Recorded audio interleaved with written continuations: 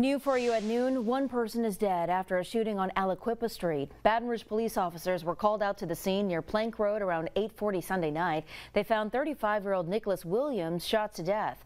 Police are still working to find out what happened and who pulled the trigger. We will keep you updated, but for now, if you know anything about this, call Crime Stoppers at 344-7867.